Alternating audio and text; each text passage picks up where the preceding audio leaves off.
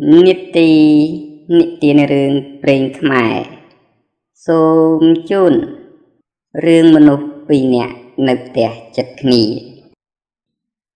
កាលពីព្រេងនាយមានបរិសពីរនាក់នៅផ្ទះចិត្តគ្នា ថ្ងៃមួយបរិសទាំងពីរនាក់នោះបបួលគ្នាទៅដាក់អន្ទាក់សัตว์ដល់ថ្ងៃរសៀលកងភ្នំក៏នាំគ្នាដើរចេញទៅលុះដល់ព្រៃជាកន្លែងដាក់អន្ទាក់ បុរសទី1ថាខ្ញុំនឹងដាក់នៅគល់ឈើនេះត្បិតឈើនេះមានផ្លែយប់យប់សัตว์ចំណាំតែមកស៊ីផ្លែឈើនេះបុរសទី2ឆ្លើយថាខ្ញុំក៏ចង់ដាក់នៅកន្លែងនឹងដែរប៉ុន្តែឥឡូវបើអ្នកដាក់នៅគល់ឈើមានតែខ្ញុំដាក់នៅចុងឈើរួចយើងចាំមើល ព្រឹកឡើងរបស់អ្នកណាជាប់សំដឹងនិយាយគ្នាហើយម្នាក់ដាក់នៅគល់ឈើស្រេចហើយវិលមកផ្ទះវិញលាគ្នាទៅផ្ទះតែរៀងរៀងខ្លួនឯអ្នកដាក់អន្ទាក់នៅចុងឈើនោះលុះវិលមកដល់ផ្ទះហើយយប់នោះគិតគ្នាពីអ្នកប្តីប្រពន្ធថា តាំងពីដូនតាមក មិនដែលឮថាអ្នកឯណាដាក់ អន្ទាក់លើចុងឈើឲ្យជាប់សัตว์ជើង4ដែលដើរនៅលើដីទេឥឡូវនេះអញដាក់នៅលើចុងឈើតើធ្វើម្ដេចនឹងបានសัตว์ដូច្នេះត្រូវអញរលឹកពីពេលមន់រងាវទៅមើលបើឃើញសត្វជាប់អន្ទាក់គេនៅដីអញដោះយកទៅចងនឹងអន្ទាក់អញឯចុងឈើ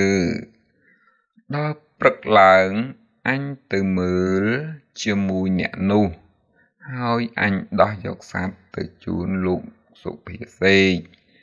បើវាមិនសុខចិត្តដូចម្ដេចម្ដាមុខជាកើតក្តីគង់តែដល់សុភាសេកមិនខានសុភាសេកនឹងកាត់ក្តីឲ្យវាចាញ់ជាប្រកប ប្តីប្រពន្ធគិតគ្នាហើយហើយក៏ដេកទៅដល់មួនរងាវរលឹកពីដេកលុកមុខស៊ីស្លា ហើយចេញពីផ្ទះដើរដល់អន្ទាក់បានឃើញអន្ទាក់នៅដីជាប់ក្តានមួយក៏ដោះយកឡើងទៅចងនឹងអន្ទាក់របស់ខ្លួន រួចដំឡើងអន្ទាក់នៅដីដូចដើមក៏ប្រញាប់វិលមកផ្ទះវិញលុះព្រឹកប្រហៀមស្រាងស្រាងឡើង អ្នកមួយដែលដាក់អន្ទាក់នៅដីមកស្រែកហៅឲ្យទៅមើលអន្ទាក់អ្នកមួយឆ្លើយថាកុំរលេះរលាំងថ្វីអន្ទាក់ខ្ញុំខ្ញុំមិនសង្ឃឹមទេត្បិតនៅលើចុងឈើក្រែងតែអន្ទាក់អ្នកនៅដីនោះខ្ញុំមិនហ៊ានថាបើបានចែកគ្នាស៊ីផង ពាក្យនេះជាពាក្យចំអកឲ្យអ្នកមួយត្បិតដឹងការមុនហើយ អ្នកទាំងពីរនិយាយហើយចុះពីផ្ទះដើរចេញទៅលុះដើរទៅដល់មិនឃើញអន្ទាក់នៅដីជាប់សាតឃើញតែអន្ទាក់នៅលើចុងឈើជាប់វិញ ចៅដែលជាម្ចាស់អន្ទាក់នៅចុងឈើថាណមើលចាស់មិនជឿខ្ញុំ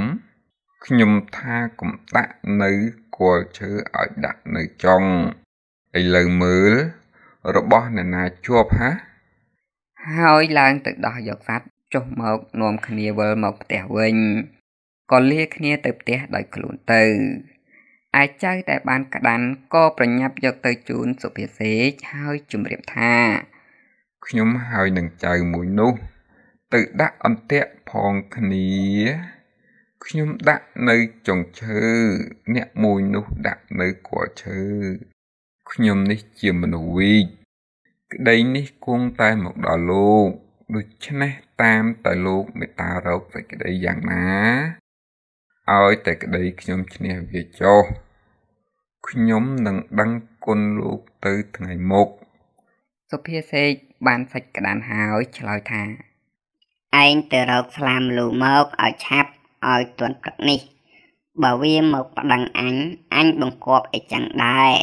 បើវាមកមិនទាន់អញនឹងកាត់ក្តីឲ្យវាចាញ់បានដោយងាយឯងប្រញាប់ទៅចុះឯអ្នកដែលដាក់អន្ទាក់លើគល់ឈើលុះវិលមកផ្ទះហើយដង្ហើមតូចដង្ហើមធំ មិនសុខចិត្តក៏យកសេចក្តីទៅប្តឹងសុភាសេកសុភាសេកក៏បង្គាប់សេចក្តីដូចបង្គាប់ចៅមុនលុះព្រឹកឡើង អ្នកដែលដាក់អន្ទាក់នៅលើចុងឈើ ក៏យកអីវ៉ាន់ទៅដល់មុនឯអ្នកដាក់អន្ទាក់នៅដីដោយខ្លួនជាអ្នកក្រលំបាកតោកយ៉ាកដើររកទិញអីវ៉ាន់ពំបានពុំទាន់ភ័យក្រែងខ្លួនចាញ់គេ ហើយគេយកទៅផងក៏រត់ពីភូមិមួយទៅភូមិមួយបានជួបនឹងសុភាទន្សាយសុភាទន្សាយសួរថា មានដំណើរអីបានជារត់ដូច្នេះឈប់សិនចៅនោះឆ្លើយថា លោកអើយអាណិតដោះទុកខ្ញុំផងត្បិតខ្ញុំហើយនឹងអ្នកមួយ ទៅដាក់អន្ទាក់ផងគ្នាខ្ញុំដាក់នៅកឈើគេដាក់នៅលើចុងឈើព្រឹកឡើងទៅមើលពំឃើញអន្ទាក់នៅដីជាប់សាតឃើញតែអន្ទាក់នៅចុងឈើជាប់កណ្ដាលមួយខ្ញុំមិនសុខចិត្តបានយកសេចក្តីទៅប្តឹងសុភាសេកសុភាសេកគេថា អ្នកណាយកអីវ៉ាន់ទៅដល់មុន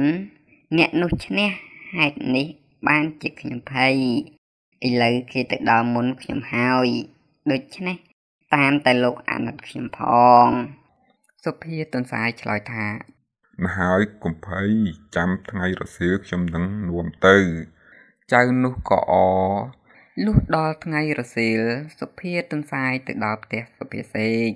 សុភាសេកស្រែកសួរមកថា ដូចម្ដេចក៏យូរម្លេះក្តីចាញ់គេហើយសុភាទន្សាយឆ្លើយថា